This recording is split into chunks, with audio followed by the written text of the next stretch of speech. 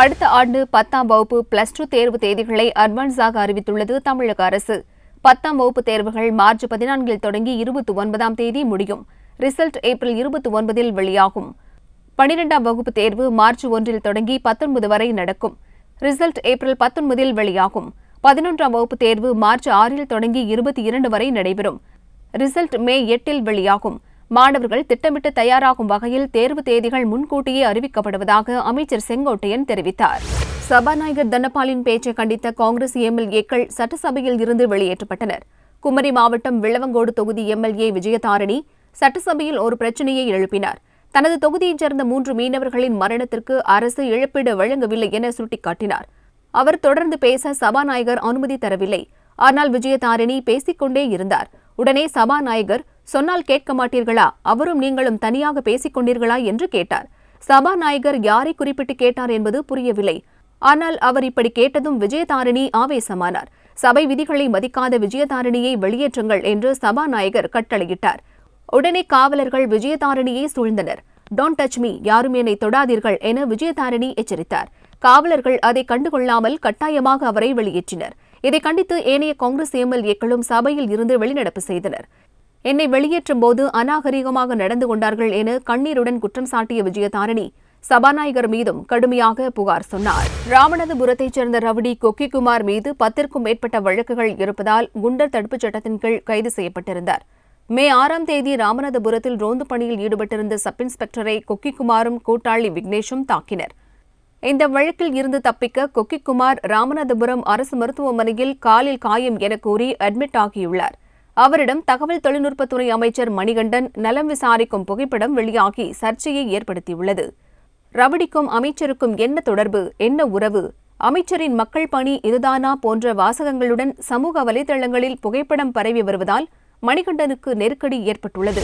அமெரிக்க அதிபர் டிரம்ப் வடகொரிய அதிபர் கிம் ஜோங் உன் சந்திப்பு சிங்கப்பூரில் நடந்தது. வடகொரியா தொடர்ச்சியாக அணுகுண்டு சோதனைகளை மேற்கொண்டதால் பாதுகாப்பு அச்சுறுத்தல் உண்டான நிலையில் இருவரது சந்திப்பை உலக நாடுகள் ஆவலுடன் எதிர்பார்த்து காத்திருந்தன. வரலாற்று சிறப்புமிக்க இந்த சந்திப்பின் போது வடகொரியாவின் அணுகுண்டு சோதனையை நிறுத்துவதற்கான வழிவகைகளை இரு தலைவர்களும் ஆராய்ந்தனர். அதைத் தொடர்ந்து ஒப்பந்தத்தில் கையெழுத்திட்டனர். அப்போது கடந்த கால கசப்புகளை மறப்போம் இந்த சந்திப்பால் உலகம் மிகப்பெரிய மாற்றத்தை சந்திக்கும் என்று கிம் கூறினார். அடுத்த கட்ட பேச்சுக்கு கிம்மை வெள்ளை மாளிகைக்கு அழைப்பீர்களா என்ற கேள்விக்கு நிச்சயமாக என உற்சாகமாக பதிலளித்தார் ட்ரம்ப். அணு ஆயுதங்களை ஒழிப்பதாக கிம் உறுதியளித்துள்ளார் என்று ட்ரம்ப் தெரிவித்தார் People are going to be very impressed. People are going to be very happy. And we're going to take care of a very big and very dangerous problem for the world. And I want to thank Chairman Kim. Uh, spent a lot of time together today, very intensive time. And I would actually say that it worked out for both of us far better than anybody could have expected. I think far better. I watched the various news reports. I would say far better than anybody even predicted. And this is going to lead to more and more and more. And uh, it's an honor to be with you. Very great honor. Thank you. Thank you to all of your representatives very much. காந்தியை கொன்றது RSS என்று காங்கிரஸ் தலைவர் ராகுல் பேசியதை எதிர்த்து தொடரப்பட்ட அவதூறு வழக்கு விசாரணை மும்பை அருகே உள்ள பிவாண்டி கோர்ட்டில் விசாரணைக்கு வந்தது ராகுல் நேரில் ஆஜரானார் அவர் மீது குற்றச்சாட்டுக்களை நீதிபதி பதிவு செய்தார் ராகுலின் குற்றங்களை நீதிபதி ஏ ஐ ஷேக் படித்தார். அப்போது குற்றத்தை ஒப்புக்கொள்கிறீர்களா என நீதிபதி கேட்க தான் எந்த குற்றத்தையும் செய்யவில்லை என்று ராகுல் கூறினார். வழக்கு விசாரணை ஆகஸ்ட் பத்தாம் தேதிக்கு ஒத்திவைக்கப்பட்டது. பாரதிய ஜனதாவும் ஆர் எஸ் எஸும் எத்தனை வழக்கு போட்டாலும் சந்திக்க தயாராக இருப்பதாக ராகுல் கூறினார். ராகுல் மன்னிப்பு கேட்டால் குற்றச்சாட்டுகளிலிருந்து விடுவிப்பதாக சுப்ரீம் கோர்ட் இரண்டாயிரத்து பதினாறில் கூறியது. அதை ஏற்க மறுத்த ராகுல் வழக்கை சந்திப்பதாக அறிவித்தார். போராட்டம் நடத்தி டில்லியில் ஆட்சியை பிடித்தவர் முதல்வர் கெஜ்ரிவால். அரசியலமைப்பு சட்டப்படி அதிகாரம் கவர்னரிடம் இருப்பதால் தன்னை செயல்பட விடாமல் மத்திய அரசு முடக்குவதாக தொடர்ந்து குற்றம் சாட்டி வருகிறார். ரேஷன் பொருட்களை வீடுதோறும் வழங்கும் திட்டத்திற்கு அனுமதி கோரி கவர்னர் அனில் பைஜாலை சந்திக்க கெஜ்ரிவால் திங்கள் மாலை சென்றார். திட்டத்தை அமல்படுத்த ஒத்துழைக்காமல் நான்கு மாதமாக போராட்டத்தில் ஈடுபட்டுள்ள ஐஏஎஸ் அதிகாரிகள் மீது நடவடிக்கை எடுக்க வேண்டும் என்பதும் அவரது கோரிக்கை.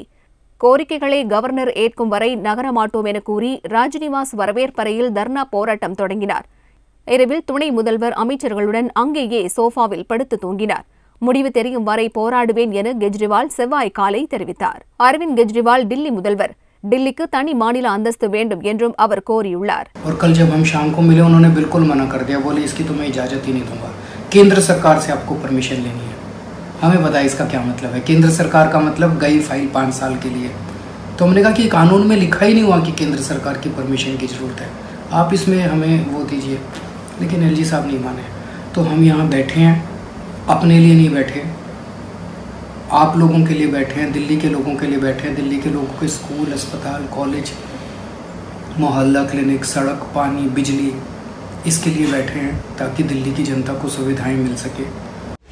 மத்திய அமைச்சர் பொன் ராதாகிருஷ்ணன் கூறியதாவது சேலம் சென்னை எக்ஸ்பிரஸ் நெடுஞ்சாலை அமைப்பது உறுதி என முதல்வர் எடப்பாடி பழனிசாமி தெரிவித்திருக்கிறார். அந்த உறுதிக்காக அவரை பாராட்டுகிறேன். அதே உறுதியை கிழக்கு கடற்கரை சாலை திட்டத்தை துரிதப்படுத்துவதிலும் முதல்வர் காட்ட வேண்டும். ஏனென்றால் அந்த திட்டத்தையும் தடுக்க சில சக்திகள் முயற்சி செய்கின்றன. கிழக்கு கடலோர ரயில் பாதை குமரியில் துறைமுகம் ஆகிய பணிகளுக்கும் தமிழக அரசு முழு ஒத்துழைப்பு அளிக்க வேண்டும். இருபத்தி எட்டாயிரம் கோடி செலவில் வரவிருக்கும் குளச்சல் துறைமுகத்தை இரண்டு ஆண்டுகளாக தடுத்து வருவதும் வேதனையாக உள்ளது. தமிழக அரசு அதை முறியடிக்க வேண்டும். திமுக அழியப் போகிறது. அது திமுகவினருக்கே தெரிகிறது. சின்னப்பிள்ளைகள் பள்ளிக்கூடம் போகாமல் கட்டடிப்பது போல் ஸ்டாலின் சட்டசபைக்கு போகாமல் கட்டடிக்கிறார். திமுகவை ஆட்சிக் கட்டிலும் ஸ்டாலினை முதல்வர் நாற்காலியிலும் அமர்த்தும் வரை ஓய மாட்டேன் என்று வைகோ சபதம் செய்திருப்பது பேச்சிலே மன்னன் சிந்தனை திருப்பி சைனடி குப்பி செயல் சிங்கம் பிரச்சார பீரங்கி ஒரு வாரமானாலும் எதிரிகளை நேருக்கு நேராக சந்திக்கக்கூடிய போர் குணம் கொண்ட போர் வாள் ஐயோ நம்ம மைண்ட் அங்க போகுதே. விஜயகாந்த் அவர்கள் அதே ஆட்சி பீடத்தில் முதலமைச்சராக அமரப் போகிறார். நான் சுத்தி வளைச்சு பேச விரும்பல. தொலைக்காட்சிகளிலே பேட்டி கொடுக்கிறவர்கள் என்னை பழிக்கிறவர்கள் என்னை நிந்திக்கிறவர்கள் என்னை விமர்சனம் செய்கின்றவர்கள் இவன் ராசியற்றவன் என்று சாபமிடுகின்றவர்கள் அவர்களுக்கெல்லாம் தெரிவிப்பேன் இந்த எதிர்கட்சி தலைவர் என்று சொல்லுகிறோம். அடுத்து நாட்கள் அதிக நாட்கள் இல்லை. தமிழகத்தினுடைய மாண்புமிகு முதலமைச்சர் தளபதி ஸ்டாலின் அவர்களே என்று சொல்லுகிற நாள் வரும் என்று. எங்கள் கடமையை செய்வோம். நாங்கள் களத்தில் நிற்போம். எதை எதிர்பாராமல் நிற்போம். எந்த ஆபத்துக்கும் அஞ்ச நிற்போம் வெற்றி ஒன்றே குறிக்கோள் திமுக ஆட்சிக்கு வர வேண்டும் என்பது ஒன்றுதான் குறிக்கோள் நான் இருக்கக்கூடிய காக்கூக்கா கட்சியில் சரியான பாதுகாப்பு இல்லாத காரணத்தினால் அண்ணனருக்கும் இரும்பு கோட்டையாகிய ஈக்குக்கா கட்சியிலே இணையலாம் என்று முடிவு செய்து விட்டேன் திமுக தொண்டர்கள் வயிற்றில் புள்ளியை கரைத்திருக்கிறது. சென்ற தேர்தல் பிரச்சாரத்தில் தேமுதிக மக்கள் நல கூட்டணியை ஆட்சிக் கட்டிலிலும் கேப்டனை முதல்வர் நாற்காலியிலும் அமர்த்தும் வரை ஓய மாட்டேன் என்று வைகோ போட்ட சபதம் நம் அனைவரினுடைய பேரன்புக்குரிய புரட்சி கலைஞர் கேப்டன் விஜயகாந்த் அவர்கள் அதே ஆட்சி பீடத்தில் முதலமைச்சராக அமரப் போகிறார். நாங்கள் நான்கு கட்சிகளும் அதை மனப்பூர்வமாக ஏற்றுக்கொண்டு you will become the king we the king makers will make you the king திமுகவினர் காதுகளில் ரீங்காரம் இடுகிறது.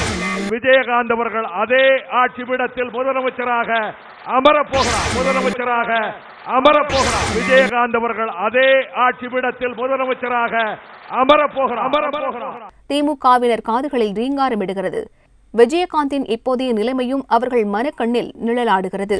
எடப்பாடி பன்னீர் தலைமையிலான கட்சிதான் உண்மையான அதிமுக என்று தேர்தல் ஆணையம் தீர்ப்பு சொல்லிவிட்டது. இதைத் தொடர்ந்து கட்சியின் அனைத்து மட்டங்களிலும் காலி இடங்களுக்கு புதிய நிர்வாகிகள் நியமனம் செய்யப்படுவார்கள் என்று அமைச்சர் பாண்டியராஜன் சொல்கிறார். நிர்வாகிகள் நியமிப்பது இருக்கட்டும். அதிமுக தலைமை அலுவலகத்தில் பழனியும் பன்னீரும் ஆர்ப்பாட்டமாக திறந்து வைத்த சும்மா சிலையை அகற்றி அம்மா சிலையை நிறுவுவது எப்போது என்று அடிமட்ட தொண்டர்கள் கேட்கின்றனர். சிலையின் முகம் ஜெயலலிதா போலவே இல்லை என கடுமையான விமர்சனங்கள் எழுந்த நிலையில் சிலை சீரமைக்கப்படும் என அமைச்சர்கள் கூறினர். அதைச் சொல்லி நூறு நாட்களுக்கு மேலாகியும் புதிய சிலை நிறுவ வேலை நடப்பதாக தெரியவில்லை. ஏற்கனவே நிபந்தனை ஜாமீனில் வெளியே இருக்கும் இயக்குநர் பாரதிராஜா மீண்டும் மீண்டும் அரசை மிரட்டும் வகையில் பேசுவதால் அவரை தேசிய பாதுகாப்பு சட்டத்தின் கீழ் சிறையில் அடைக்க வேண்டும் என்று இந்து மக்கள் முன்னணி அமைப்பு சென்னை போலீஸ் கமிஷனரிடம் மனு அளித்தது.